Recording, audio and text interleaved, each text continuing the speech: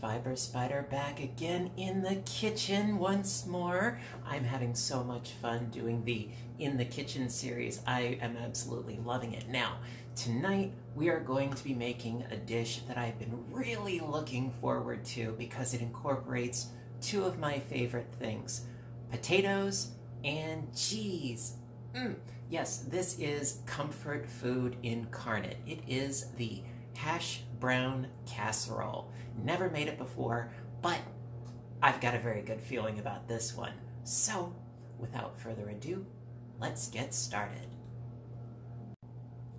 Alrighty, so first things first, I have my oven preheating at 350 and I have most of my ingredients all set to go.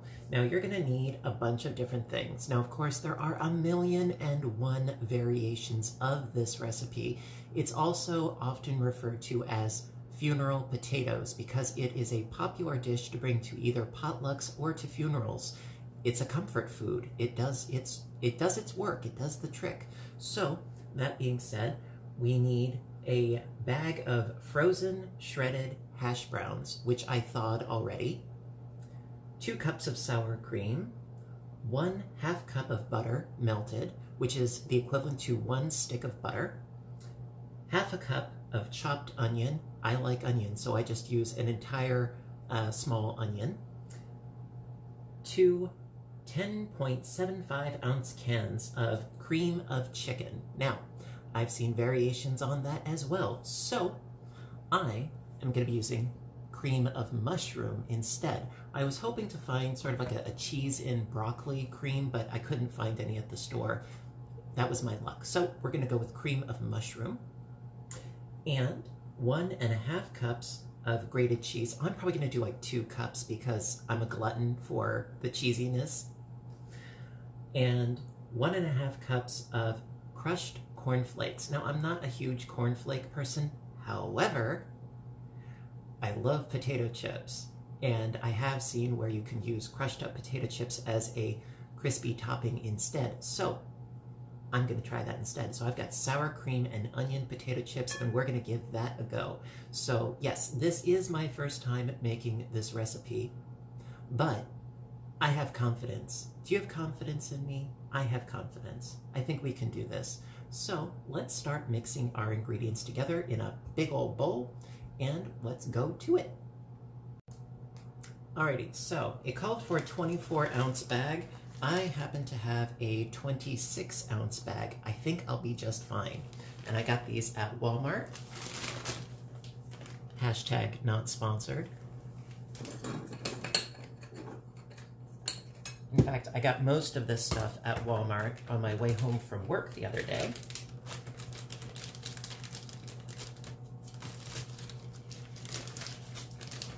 There we go. And also, you are going to need a 9 by 13 casserole dish as well.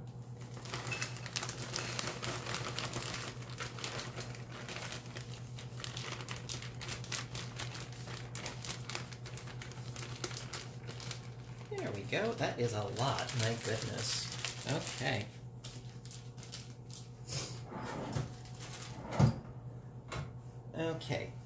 Let's roll up our sleeves here.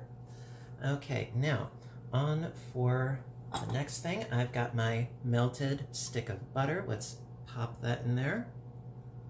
Drizzle, drizzle, drizzle. This is going to be very, very rich between the butter, the sour cream, and the cream of mushroom soup. Okay. And so the sour cream, it's two cups, which is 16 ounces. One cup is eight ounces. If I did my calculations correctly, famous last words, right? So let's do it to it.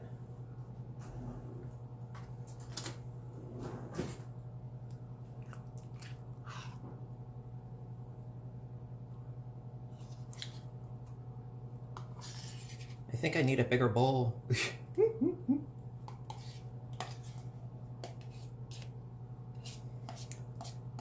now, my mom quite often, like when we're having fajitas or something like that, instead of using sour cream, she'll use Greek yogurt, but and honestly, it tastes pretty darn close, believe it or not. But I think let's just go with the sour cream for today. Okay, so we got that going. And got my onion all chopped up. Julia Child would be ashamed of me, but you know what? That's okay. I, I never claim perfection when it comes to my chopping skills. Okay, let's start mixing this up just a wee bit. Because, my goodness. This, this bowl is already, like, really, really full here, and I still have a bunch of things to add in. This, this, I need a bigger bowl. oh man, okay, because I still have to add in the soup and the cheese, and I have a secret ingredient that I have yet to mention that I'm going to add in as well. So let's sort of level this out just a little bit here and then add in our soup. Two cans. Two cans, Sam, just follow your nose. Okay.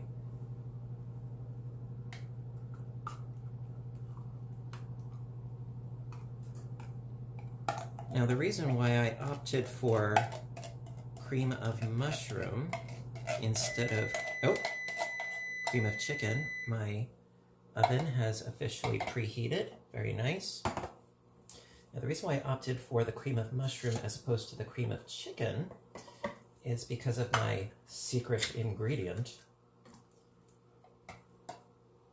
which is a leftover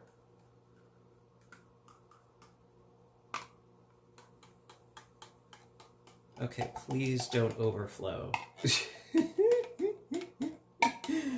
oh man. Also, it would probably help if I used two spoons to sort of toss it a bit, which I can do. Okay, now, uh, for my secret ingredient, I have some leftover ham that we had frozen uh, after Thanksgiving. So I'm going to pop this in here as well. And I did defrost it and everything. So let's just scoot this out here. And I chopped it up into little easy bits here. Okay, I, am just really hoping that half of this does not end up on the counter. As I'm going to be tossing. Okay. And, uh, you know what? I'm going to start mixing this up before I even attempt the cheese. So I'm going to start mixing this off camera in case if a mishap happens.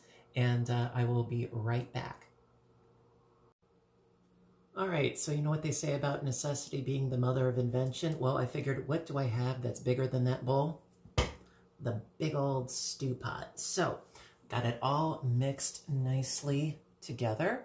And now, now I just need to add the cheese and then get it into my casserole dish. We are on the tail end. Mm -hmm.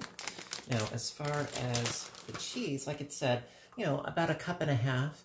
I'm going to use two probably. Now, this is Colby Jack, finely shredded Colby and Monterey Jack cheese. Ooh, love it. All right, so let's roughly do this, shall we? You know, I, I'm, I'm going to sort of guesstimate, if you will.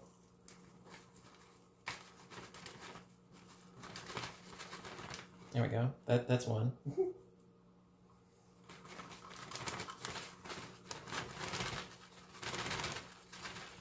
yeah, one and a half, right?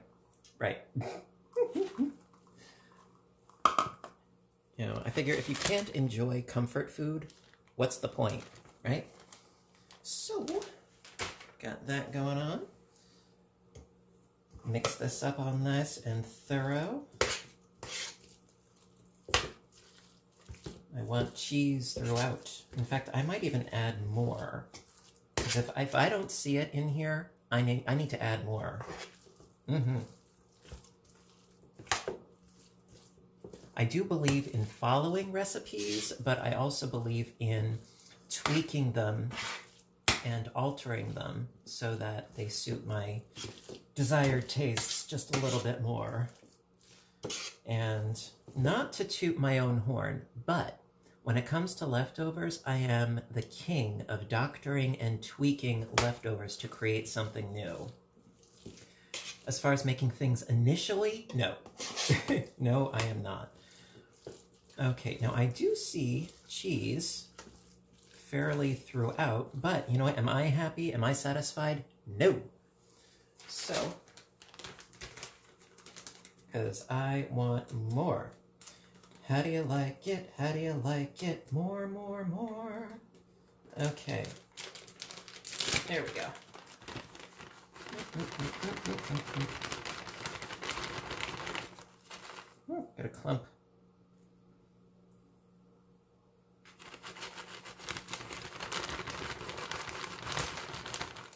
Okay, so I have, instead of one and a half cups, I would say I have more along the lines of mm, two and a half, three,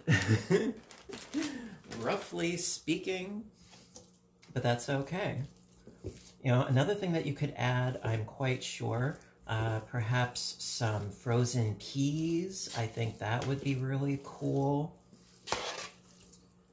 you know, other little bits of leftovers. Why not, you know? I mean, I'm, I'm sort of going based on the initial recipe, but you know what I always say? March to the beat of your own bongos. Okay, now I think we are just about there and kosher, um, so to speak. So, going to spray my casserole dish, get this in here, and then we're going to add the chips, and we will be good to go. Alrighty. Alright, so we are good to go. I have all of my crushed up potato chips on top, and now I just have to pop it into the oven for 45 to 50 minutes. Again, I haven't made this before, so Wish me luck. Let's pop this sucker into the oven. Here we go.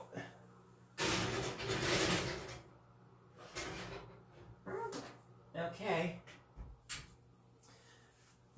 I will see you when it is done. That is, what we'll see what happens. I'll see you in a bit. Alrighty, so it has been 50 minutes at 350 and I've been spying on it through the window and uh, it's all bubbly bubbly. So let's take a look-see at what we have. Hopefully it looks like dinner because I am a hungry lad. All right, let's see what we got here. Whoa, whoa, whoa, okay. Okay, here we go. Here we go. Ah.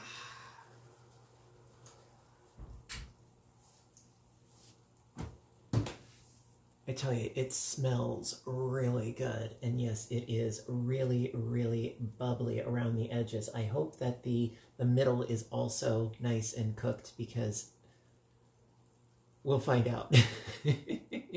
so what I'm going to do is I'm going to pop over to the table and grab a, it's not going to be a piece, but grab a bunch, and uh, I will see you in just a moment. All right, now for the moment of truth. And actually, yeah, it is boiling hot, so hopefully I will not burn my little mouth. Um, and also, you know, I was hoping that it was going to be more solidified, um, but no, it's actually, you know, you need a spoon. You know, it, it's not like something you can slice. That's what I thought it was going to be initially, but that's what we got going on over here. It looks so creamy and rich. I wasn't I wasn't deceived when I was putting in my ingredients.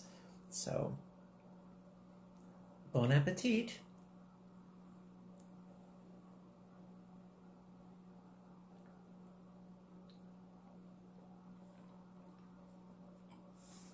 Mmm. Mmm. I'm going to be making this again. Most definitely. It was so, so easy to put together. You know, it, it, prep time was minimal and it is delicious and I've got tons and I love leftovers. Mm. Now, this actually is, I believe, the first time that I have made a casserole. Success. And I have to have another bite. Also, I'm glad that I added the ham. It adds a, nice extra texture in there as well.